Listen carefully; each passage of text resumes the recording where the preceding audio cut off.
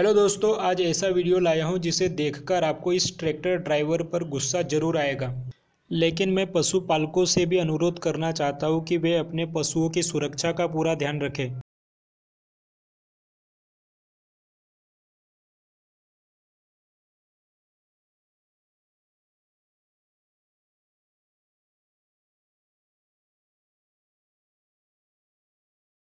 इस tractor driver के बारे में अपने विचार कमेंट सेक्शन में ज़रूर लिखें। Thank you, please like and share the video and subscribe the channel.